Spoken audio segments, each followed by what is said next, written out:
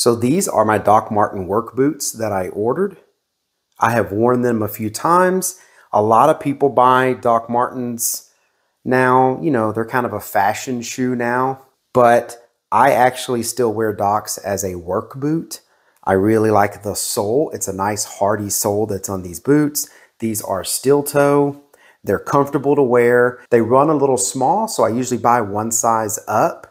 But these have been really comfortable. They still need to be broken in, but they have been really comfortable. This is actually my second pair of work boots that are exactly like this. My last pair, I wore them for a really long time, and I actually ended up just tearing some of the leather on them. So I just decided to get another pair instead of repairing them.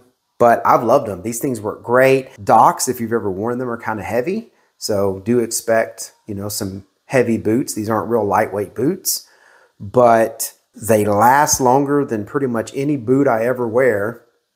They're comfortable. They get the job done. And the other thing I like about them is I don't tend to have problems with steel toes on my Doc Martens. Many other work boots, you know, you end up having to get like a square toe or something because that steel toe just bothers your feet. Um, I've never really had a problem with these boots. So I hope this review was helpful. Thank you very much for watching. I appreciate it. Y'all take care.